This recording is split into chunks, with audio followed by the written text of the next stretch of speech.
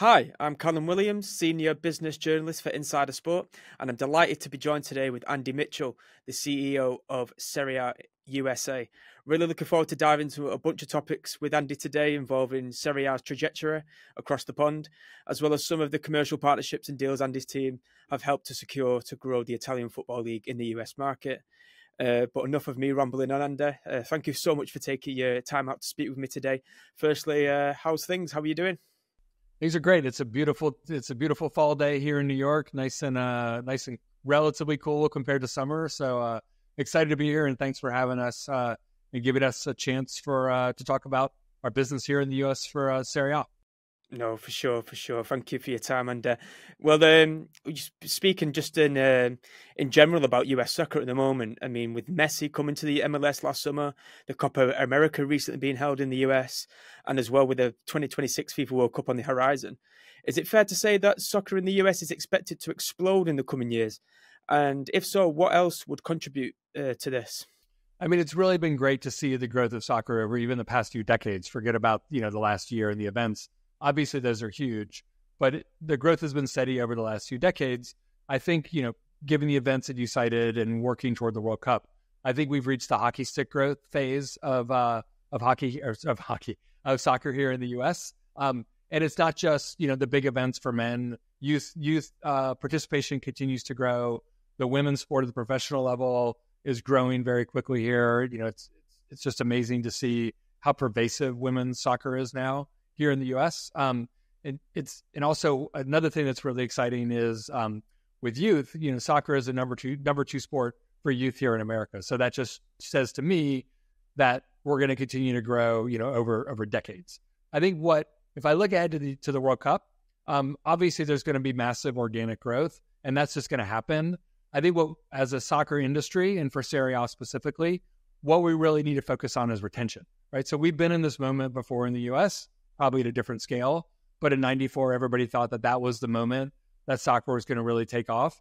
And what we saw is following the World Cup, we kind of sank back down to where we were previously. And so I think it's on me and it's on everybody else in the soccer industry to really think about how we drive retention following the World Cup. I mean, there, there's going to be some drop off, but we need to drop off at a level that's well above where we were in 2025 and then continue to grow from there. And I think we're all poised to do that. It's not just Serie A, a number of international leagues, clubs, MLS is growing. There's just a lot of investment in the sport here in the US. So I think we're really poised to take advantage of the World Cup as an opportunity for long term sustained steady growth. Yeah, and as and from a UK perspective as well, I can I can see looking outside, looking in. There's a lot of uh, a lot of more soccer coverage now uh, in the US, particularly Serie A as well, which obviously you preside over now over there in the US. How would you assess Serie A standing at the moment in the US among some of the other top European leagues such as the Premier League, La Liga, etc.? I mean, the great news is we have the wind at our backs at Serie A broadly, and obviously that carries over into the US. This season, we have five teams um, in the Champions League. We've earned that extra seat, which is amazing and really demonstrates how well the league is performing in European competitions, which obviously is incredibly important. Um, we have the top, Amer- top American player in Christian Pulisic, as well as a number of other USMNT players. In fact, Serie A has the most uh, starters on the USMNT compared to any other league, and so that just draws a lot of organic attention here. And Christian Pulisic, as we see, is really thriving in Italy. He's really turned things around and just continues to perform at an extremely high level you know every week. Um, the thing also that's really exciting about Serie A is the unpredictability of the league. Right in some of the some of the other leagues in Europe, it's the same one or two clubs who continues to to perform and you know win every year. At Serie A, over the last five seasons, we've had four different champions. So a lot going on on the pitch, which is great. Um, we have some of the best best known brands in football: AC Milan, Inter Milan, Juve, Roma, etc. And so, you know, we can we can draw on those brands here in the U.S. to continue to grow the league. Um, and then we have an incredible advantage off the pitch, right? Americans have a special relationship with Italy. Um, we did some research recently. There are 51 million Americans that have affinity for Italy as a country and as a culture. So that gives us a great head start as a differentiator. And then there are about 3 million Americans that travel to Italy every year for holiday. And so creating that cultural connection between people's travels and the sport, I think is a big opportunity and some work that we are specifically embarking on. And so, you know, using Italy as a key differentiator, not just with consumers, but also in the commercial market, gives us an advantage there as well. So um, I feel like, you know, in a lot of ways, given success in Europe and all the Americans, I'm extremely lucky to have kind of landed this role at the time that I did. And, you know, ex- ex- extraordinarily excited about the opportunity and the work ahead of us. Yeah, and speaking on some of those opportunities as well, Andy, um, taking matters off the field, um, what commercial partnerships and relationships have uh, have Serie in the USA engaged engaged in, and to support its growth ambitions in not just America but also North America as well? Yep, hundred percent. So we're responsible for um, Canada and Mexico in addition to to the U.S. Obviously, just given the scale of the country, we spend most of our time working in the U.S. But you know, those other countries are incredibly important to us. You, know, the initial work of the office here was to build a foundation for the league. So we really started to think about what content opportunities we have. We launched an email newsletter um, called Calcio Weekly. That is a great, you know, easy way for fans, and it's shameless plug available at calcioweekly.com. Um, but it's a great. What we try to do is aggregate some of the best stories around the league every week. Um, so to give Americans, you know, and it's very American written, very American centric. Um, so uh, you know, now that we've got content franchises, we've got more distribution through Calcio Weekly, through social. Now it's really time to commercialize the league. Um, I would stay tuned over the next couple months that we're going to have some uh, uh, we we what we consider are some transformational partnerships to announce that will not just help us from a commercial and revenue standpoint, but also help us gain new fans in the market through some innovative partnerships. So um, we're really poised for growth on the business side in the same way that we are, you know, we've captured growth over on the fan side. Yeah, and I'm sure some of that growth has also come um, with some of the uh, some of the broadcasts you have over there. I know uh, recently renewing the CBS broadcast deal. Um, we, I think we see this over here in the UK with their with their Champions League content. It's actually really quite engaging and quite um, quite different to how the UK do it as well. Just speak a little on how important that CBS broadcast deal broadcast deal is in being able to reach new audiences in the US, and then also you also have um, deals with Fox Deportes and Sirius XM deals. Um, how well have they been received um, since being partner in being partners with them?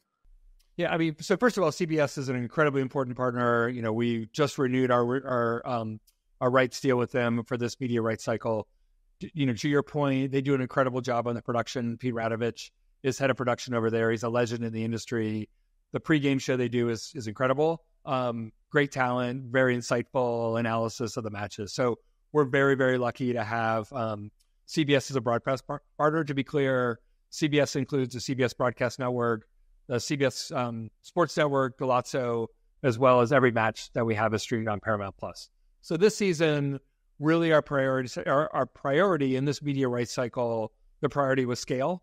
So um, we just it was a major um, milestone for us.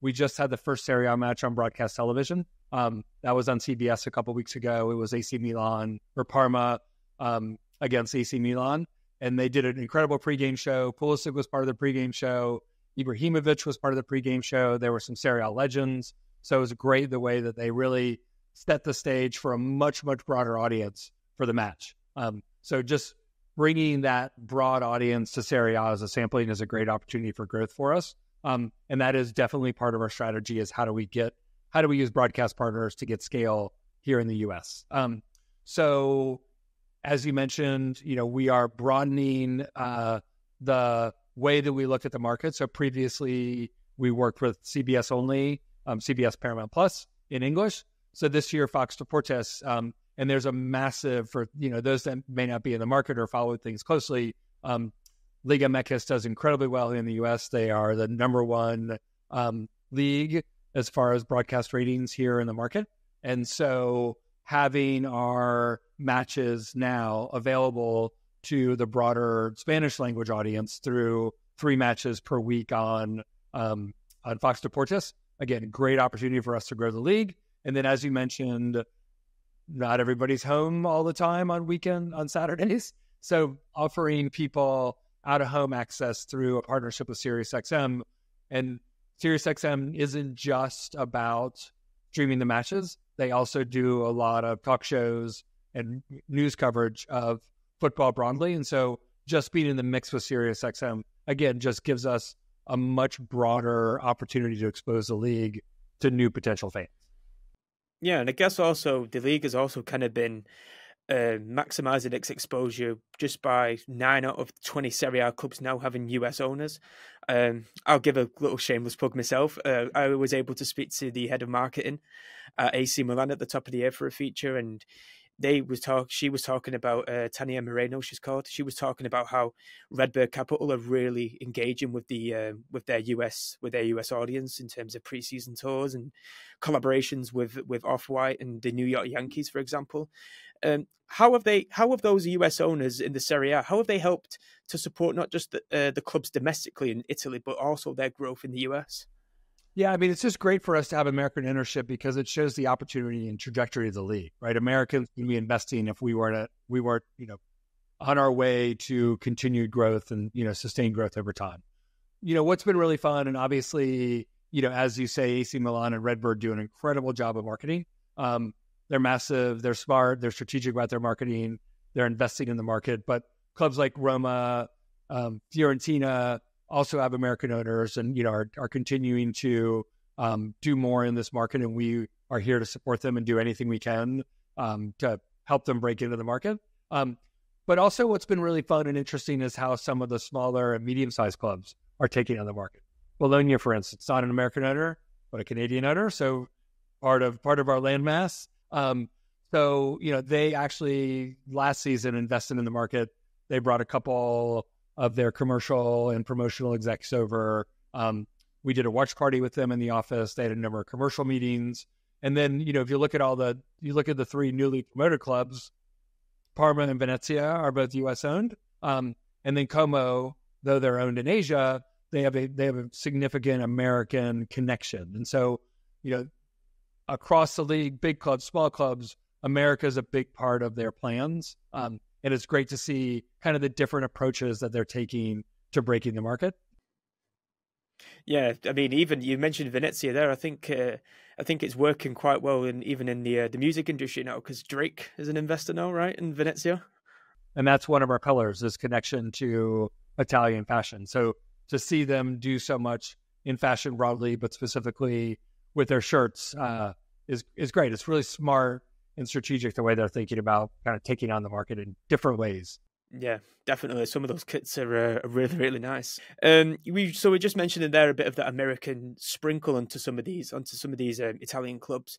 Um, what more can uh, Serie A, but not just Serie A, but other European football leagues learn from the US sports model when it comes to sponsorship and marketing? Because I know the US sporting model is very, you know, focused and they, they kind of drive sponsorship to to the max, right? Yep, absolutely. So, you know, it's it's an interesting question. I think one of the things that I've been, um, you know, really interested in is, you know, obviously a lot of international or European um, clubs are coming and leagues are coming here to the U.S. It's been interesting to see how the American leagues are also exporting their product internationally as well. I mean, it's cliche to say it, it's at this point, but kind of given global distribution of content uh, and kind of the ubiquity of you know, travel being relatively easy, we are truly in a global marketplace. And so, you know, we could all learn from each other. And we've had conversations with all the different leagues here in the US about, you know, thinking about, you know, how to potentially work together or if nothing else, just exchanging, um, you know, learnings as we, you know, work together to kind of grow our respective sports around the world. Um, you know, I think the biggest lesson that we can take from, you know, and, and again, you said it, Callum, was commercialization. So, you know, how do we do commercial in a way that's very organic to the sport, um, is additive to fans' experience and not disruptive? And I think the American sports have done a good job of that. So, a lot of what I look at is how do we think about commercializing this league in this market in the same way that the, the traditional American sports have, and what can we learn from them and you know deploy in this market? Yeah, and also not alienating the the core fan base as well, keeping them relatively localized to the product still at heart, right? Hundred percent, and that's a balance that we have to kind of manage and you know, be very thoughtful and methodical about our approach. Definitely, definitely. Well, um, lastly, Andy, uh, thank you for your time. I really appreciate it. I just wanted to uh, just on, on, a little lighter note. Is there any what you're looking forward to this uh, this upcoming Serie A season? We're only a couple of games in. Is uh, Arenta going to retain for the third third year in a row? And are there any teams or players you, that the Americans should be uh, most excited to watch this season? Yeah, this season. I mean, first of all, to be very clear, I love all 20 teams equally. they're, all, they're all my children. Yeah. Um, and that's my story, and I'm sticking to it. But, but in all seriousness, you know what I tend to follow is um, how are the U.S. men's national team players doing? So you know we have players across the league and multiple teams, so it's always fun to catch up with their performance and see how that again impacts kind of their perception and how they play on the field. You know when they are part of the national team, and obviously having a now you know one of arguably the best coaches in the world with Pochettino now here I think it really will rise the profile of the U.S. men's national team, which I think again creates advantage for Serie A. Um, but there's really compelling narratives to follow around the league. Like, can Thiago Motta's uh, success at at, uh, at Juve continue? Right, a lot of pressure on him, but they're a different team this year than they were last year. Look what he did, did with Bologna. Atalanta, after winning the Europa League, uh, defeating, surprising, I think everyone uh, outside of Serie A uh, by beating uh, Bayern Leverkusen. Can they continue their success in Europe after you know having a transfer window where you know their players were in high demand?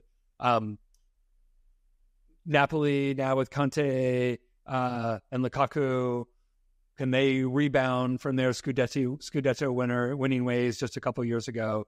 So super interesting storylines to follow all around the league. Um, and so, you know, I really pay attention to what are the different, you know, again, not being a fan of any specific team, looking, you know, broadly at what are the most interesting stories. And again, shameless plug time, but that's what we do with Calcio Weekly, where we really want to make fans understand all the different narratives across the league. So if they're interested in the league, if they're interested in a team, it's a good way to to follow us. So whether it be Calcio Weekly, um, we're on Instagram at um, the um, uh, handle is uh, Serie A underscore North America. Um, constantly posting news and highlights and updates around the league there. So we're trying to make it easier for people to follow um, and just be able to connect to all those different narratives around the league. Um, I'm sure we can uh, we can we can put the link in the uh, YouTube description box below for you, Andy. Uh, I'm sure we can do that for you. But no, Andy, really appreciate you uh, taking the time out to speak with me today. Uh, I hope um, I hope that the uh, Serie A season goes well for you in the US. Uh, like you said, uh, it's expected to be quite one of the more entertaining ones over the past uh, couple of years. So, yeah, really looking forward to see what uh, what more movements you do in the US market. And yeah, just thank you for your time and uh, all the best. Great. Well, thanks, Cal. Thanks for having us. It's it's always great to have an opportunity to talk about the league and the work we're doing in this market. So, appreciate you having us on. And we're, as I get, as I said, things are moving fast and we're going to have more and more to say over the next uh, you know few months. So would love to have the opportunity to update you at some time in the near future. But again, thank you for this opportunity, and you guys keep doing the great work that you're doing. Yeah, my pleasure. Thank you, Andy.